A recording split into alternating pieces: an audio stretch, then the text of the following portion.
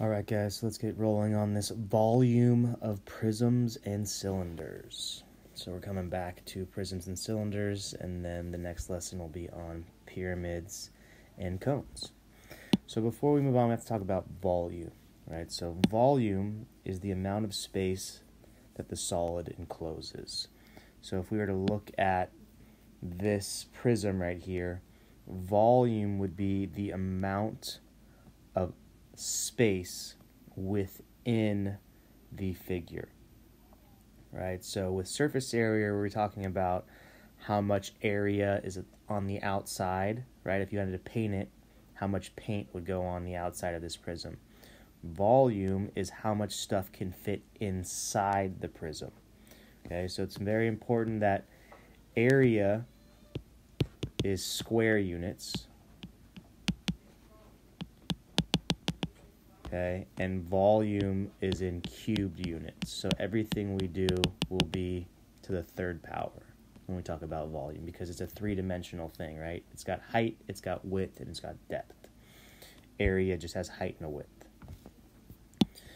So, in order to understand volume, you have to understand what's called a cross section.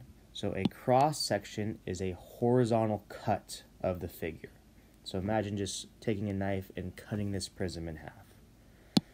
Now, normally that cut is made parallel with the bases. So it looks something like this. So if I add in the three-dimensional aspect of this prism, a cross section would be right there. So notice it's parallel to the top and the bottom base, and it's only representing a certain part of that prism. Now the reason why a cross section is important is because it's the exact same size as a your bases. Because remember, a prism, as you travel up and down, think of an elevator shaft, right? As the elevator goes up and down, the size of the elevator shaft is the same from the top floor to the bottom floor.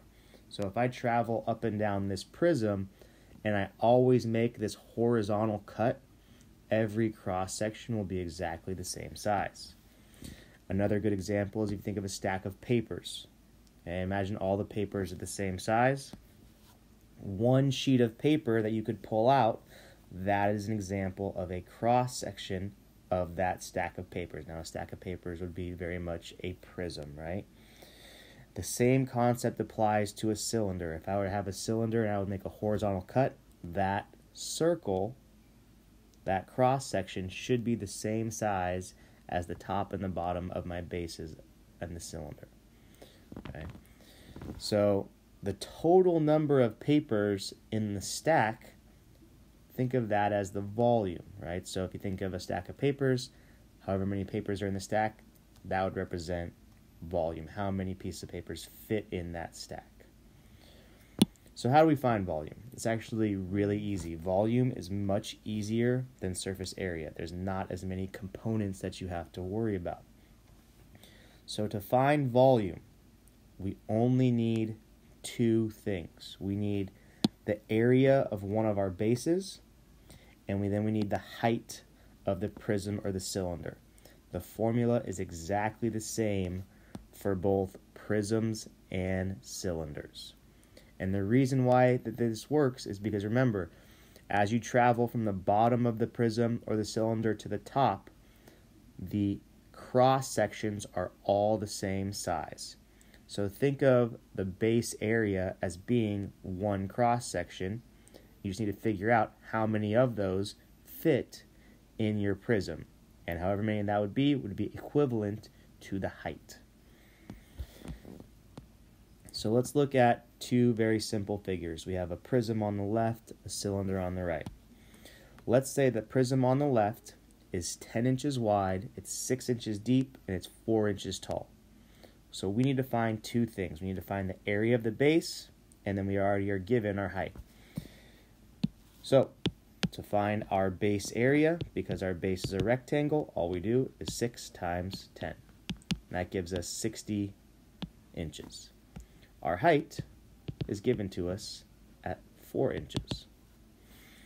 So all we do then, volume equals area of the base times the height.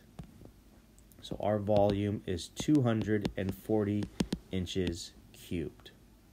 That's it. That's all that you have to do. Again, it's the area of the base times the height. Let's look at the cylinder. So how do these change, right? The, the way that you do the problem changes based off what your base shape is. So we're still doing V equals B times H. Now, because it's a cylinder, our base is a circle.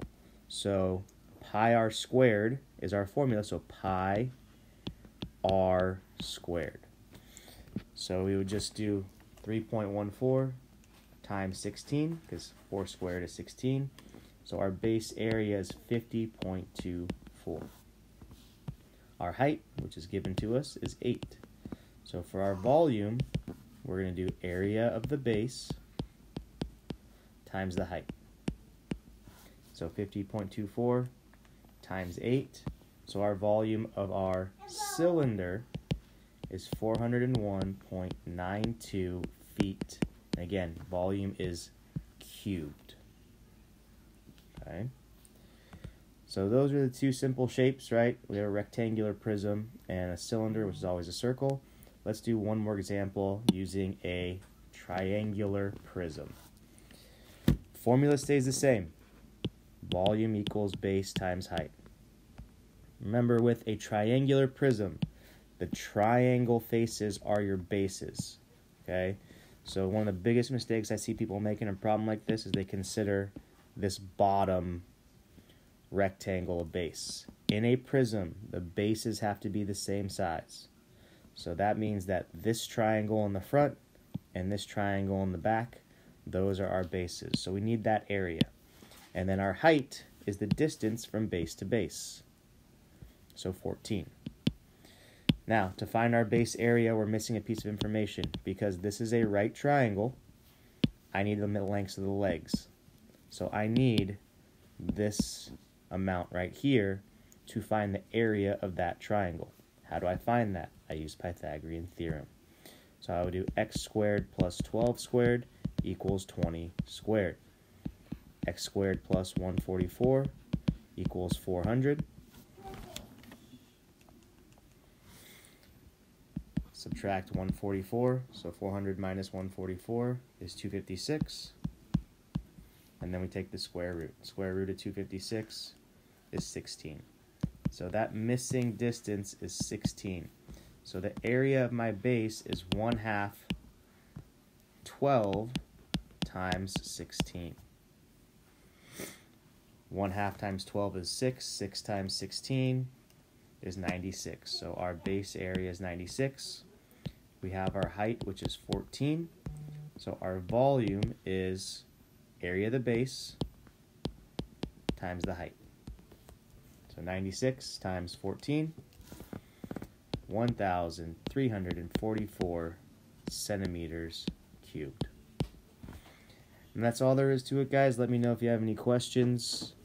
Next up, we're going to do volume of pyramids and cones. Almost as easy as this. There's just one thing you add. Super basic.